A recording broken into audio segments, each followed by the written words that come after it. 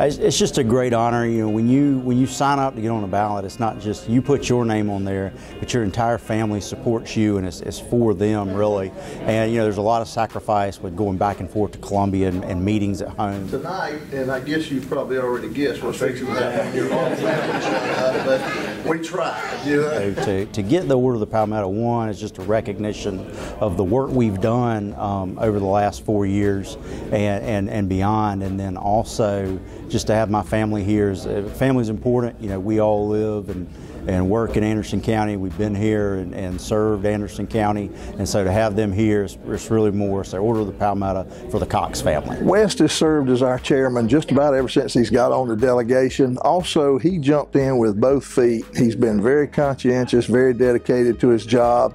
And the two ballot questions that you'll have on the ballot this year about upping the amount that we put in the reserve fund and in the capital reserve fund, those were put on at his instigation. He, he did those legislative pieces, and he's to be commended for that. And I certainly hope they'll pass.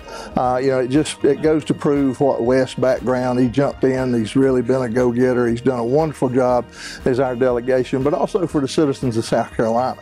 Is it unusual that somebody can accomplish what he has done only having served two terms?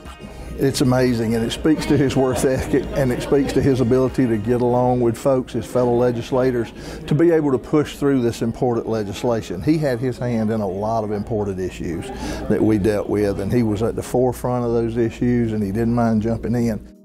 He built up a good coalition with his fellow legislators that allowed him to get these things done.